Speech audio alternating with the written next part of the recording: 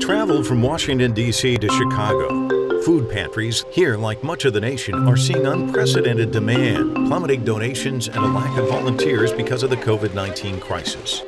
It's during these times of disaster, Ertharin works to raise awareness of global food insecurity, a lesson started by her parents in her hometown of Chicago. I grew up in a family where commitment to service was what my family parents were all about. My mother was a social worker, and I always say my dad was a community organizer before Barack Obama made it popular. And so having an awareness of those who had less and working to develop solutions for addressing the challenges that those populations were facing was something that my parents did every day, that we as children were volunteers in all kinds of programs. And so getting up every day and working to make life better for those who have less is my passion. Ertharin is a visiting scholar at the Center on Food Security and the Environment at Stanford University in California. She's also a distinguished fellow at the nonprofit Chicago Council on Global Affairs. Ertharin served as executive director of the UN World Food Program from 2012 to 2017. Her work took her to some of the most food deprived places in the world looking into your eyes and I'm imagining what those eyes have seen because I was in uh, Somalia in, in, the 90s and, and saw uh, mothers clutching their babies that were starving. And you saw in their eyes the, the look of fear. They didn't know what the future held for them. And also that, that considerable love. And I know that that's just one episode of my life. You probably have a litany of those stories. What's it been like? Um, and I imagine that's kind of the drive, that passion that you talked about. But what's it like? Because um, I found it tough to go to sleep after that. I mean, those, those images stay with you. It's always tough. Whenever you see a child suffer, your humanity, no matter who you are, will, will, will rise to the occasion. And you will look at the child and say, what do we do to make a difference? But when you talk about what have I seen, I, you talk about Somalia. Uh, I, I stood on the border in the Dadaab refugee camp as women were walking, and they'd walked for days across southern Somalia to reach the refugee camp where there were food and water resources that, that uh, could allow them to feed their children. And they walked with these children without those resources. And the children were literally skin and bones. And you see children who are obedient and docile. And they lack joy because all of their energy they're using to survive. To keep putting one foot in front of the other, to keep walking. And sometimes these mothers will walk for weeks. I saw the same thing at the border between South Sudan and Ethiopia. Uh, and, and that one was even more tragic. That situation was even more tragic, where I stood in a refugee camp in Ethiopia and I was standing there with the Minister of Refugee Affairs for the government. And we heard this blood curdling scream. And we were standing outside of one of the Doctors Without Borders tents.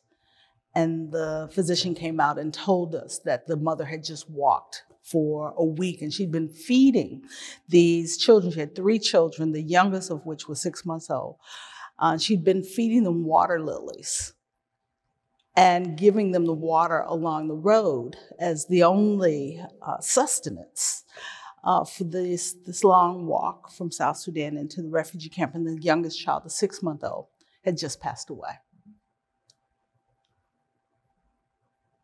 And here's a mother who walked with her children, gave them what she could, but could not save them. And that pain, uh, it's un, it's indescribable. I mean, somebody who's been there and seen it. Mhm. Um, what you just painted, I mean, I can visually, I can, but it's so tough to convey that to people because unless you've been there and seen it with your own eyes, it's it's it's unimaginable. And that's a good thing that it's unimaginable.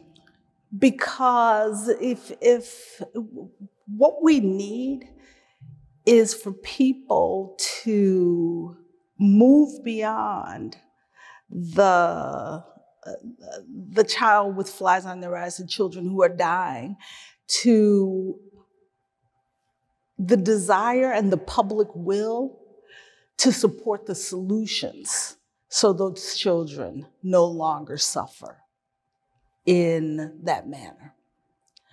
As long as we can imagine it, we say it's, it's almost as if it's okay.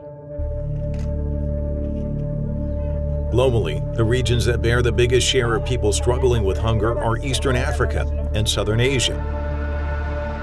More than 9 out of 10 malnourished, undernourished children worldwide live in these regions.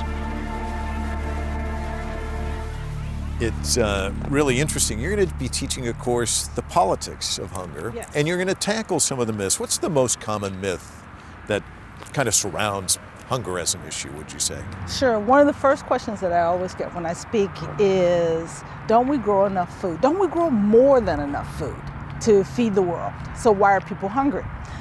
And uh, helping people understand that where the food is grown is not necessarily where people are hungry. In the United States, yes, we grow an abundance of food here. We export uh, commodities from the United States, Europe, parts of Asia now. But in sub Saharan Africa, we don't. And as a result, we have hunger. And in addition to the fact that the where the food is grown is not necessarily where the people are hungry, even in places like Africa, the food waste challenge there is food that is lost between the field and the consumer. Logistics meaning the roads, refrigeration, storage, and as a result, 40% of the food that is harvested is lost. Eartha says anti poverty measures must go hand in hand with anti hunger programs. It's already happening in some countries. Millet, sorghum, and maize are high in nutrition and relatively more resistant to flood and drought. In India, the government distributed these grains for farmers to grow on their land and pledged to pay premium prices for these crops. In China, agricultural reforms ensured most rural farmers had land to grow on, allowing them to be food self sufficient. China's poverty reduction efforts have contributed to 70% of the worldwide poverty reduction since the 1980s. One of the things I've heard you say, which I think is fascinating and, and true, is that policies do make a difference. And you point to China. Uh, so many people lifted out of poverty, so many people hungry that now have meals. So policies do make a difference, don't they? Yes, they do. Um, when I, uh, you would you would often hear me use China as an example of a country that the world said would never feed itself, that it would always depend upon assistance from the global community. Because 50 years ago, China was WFP's largest food recipient. And that all evolved to the point where President Xi now says that he will eradicate poverty by the end of 2020. I'm looking forward to that. Uh, but it, it did take commitment from government to developing the programs, investing in the activities that were necessary to ensure the agricultural system was one that could provide access to food, but also ensuring that people had, and, and who could not afford food, had access to food. And that made a difference in the evolution of China. And there are many other factors that are involved there. But the reality of it is, it began with a commitment by leadership to ensure that they were self sustained in food access. Conflict driven hunger is getting worse, according to the United Nations, and Yemenis are facing the worst food security crisis of anywhere in the world. with four fifths of Yemen's population needing some form of aid or protection. The UN says it's one of the largest man made famines in history. I think of uh, Yemen and, uh, and, and, Syria. One day they're in the news, the next day they're not. But the crisis is still there. Yes. The fighting is still there. The yes. people are still suffering. Uh, how tough is that? Oh, that's people would say to me often. Well, the Syrian war has been going on for what nine years now, almost ten.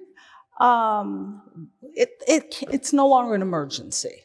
You need to reduce the number of people that you are assisting because um, it is no longer an acute emergency. But the notion that I worked very diligently to, to support was what we would call a protracted emergency is how you should describe a conflict. Because unlike a hurricane that hits, people lose their livelihoods, they need assistance, then they stable off and they rebuild and they go back to work and they build their lives. In a conflict, the acute situation occurs when the conflict begins and the bombs begin to fall. But when the conflict goes on and continues to move and continues to create the kind of uncertainty and fear in a population that limits the ability to move back into the workplace and move back into the fields to, to grow your crops, to go to the market. And, and as a result, the family requires ongoing assistance. That's what's happening in Yemen. That's what's happening in South Sudan. That's what's happening in Northeast Nigeria, in Maiduguri. It's what's happening in all over Syria, but no one, no one reports on it. Doesn't make the media. It's not in the headlines. And so donor funds continue too often uh, are, are reduced. And as, but there's the number of people are still hungry. Talk to me about uh, the complexities and difficulties of the WFP. Uh, just from the sense, uh, funding's always an issue. You can never have enough. Um, and then one of the other things that I've heard you talk about as well is, is uh, I don't want to use the word sexy, but but suddenly something ends up in the news, and it's the flashpoint, and everyone's interested in that. Uh, people suffering in Haiti, let's send money for that, and yet they're suffering all around the world, and you have targeted funds going for something specific. When I imagine at times you just want to throw your arms up and say, "Listen, people, talk to me. There's all kinds of problems. I can give you a list, top ten. Yes, yes. People would ask me, "What are the worst situations?" I said, any child that's hungry any place in the world, any mother that can't feed her child any place in the world is a priority. And we should not choose one child over another, one family over another, one community over another, merely because one made the news and the other one didn't. And what was becoming exciting as I was leaving WFP and the new executive director has carried forward is working with governments to uh, access more discretionary funds that would give them the give the organization the capacity to provide the funds where they were required and not necessarily based upon where the news was coming in. The effects of climate change are disproportionately affecting food insecure people. A 2018 UN report identified South Asia and Sub Saharan Africa, regions that rely heavily on small scale farming, as the highest risk for losing harvest in the coming decades as the planet warms. Extend that out further, climate change, which is obviously having impacts as we speak, but are going to continue to be a problem. How much more difficult does this job get? Uh, it, that depends. If we do, we, the global community, invest in the adaptation and mitigation strategies that are necessary to support building resilience in agriculture for vulnerable populations because the poorest people live on the most vulnerable, climate marginal, and climate vulnerable places around the world. If we invest in those areas to support the right seeds, the right tools, the right access to communications that allows those smallholder farmers to continue to pursue their livelihoods, whether the the weather is erratic or not, then we don't we won't need to provide the humanitarian responses that are necessary. Are there new solutions out there for these old problems? I mean, do you look at technology and say, okay, there, there are some things out there that can help us? Uh, are, are you looking at the landscape today and saying, yes. okay, I see the future is actually somewhat promising? And yes and no. None of these answers are simple. I'm sorry. It sounds as if everything I say, I say, well, maybe. Um, there are new ag tech, food tech innovations that are coming online that uh, include everything from new irrigation systems to new types of seeds, new plant protections, new types of, um, of sensor devices, whether we're talking um, data-based um, sensors that support the plantings in and, and precision agriculture in a manner that will support the, the continued livelihoods of families during times of crisis of, of, of uh, climate impact. But the problem is, most of the new tools that are coming online are coming online for the affluent the farmers that can afford them. Because the climates, the impacts of climate are going to affect farmers here in the United States and Europe, just as it affects farmers in the developing world. Now, I, I will give a plug to, to Bayer, Bayer. I sit on, I, I work with them in, in Germany, and they've made a commitment to providing seeds and support service for 100 million smallholder farmers. We need every company we need companies around the world making those kinds of commitments.